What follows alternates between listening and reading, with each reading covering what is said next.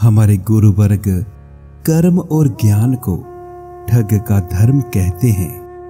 इसलिए कर्म के पथ और ज्ञान के पथ का परित्याग कर, भक्ति का पथ ही हमारा एकमात्र अनुसरणीय पथ है। जो लोग उसी पथ के पथिक हैं, उन भक्तों का संग ही हमारे लिए आवश्यक है। अपने से श्रेष्ठ भक्त का संग ही करणीय है। चैतन्य महाप्रभु के मनोविष्ट संस्थापक, श्री रूप की चरण धूली ही हमारा एकमात्र आकांक्षा की वस्तु है।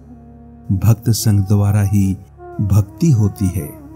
कर्मी, ज्ञानी और योगी, ये सभी अभक्त एवं सब पर वंचक है।